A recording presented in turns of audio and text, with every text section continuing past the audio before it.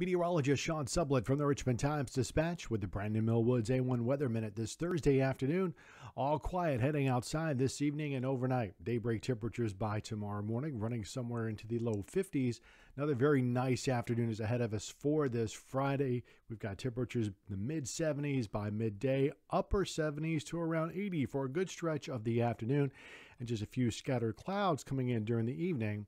No rain, but they do signify a change to some breezier and cooler conditions for Friday night and certainly into the weekend. So Saturday and Sunday for the Folk Fest in Richmond, 64 with sunshine, a few clouds. Sunday sunny and 68. So a really good fall weekend to be celebrating there at the waterfront along the James River. Uh, it will be quite cold though Saturday night, going down to about 40 degrees.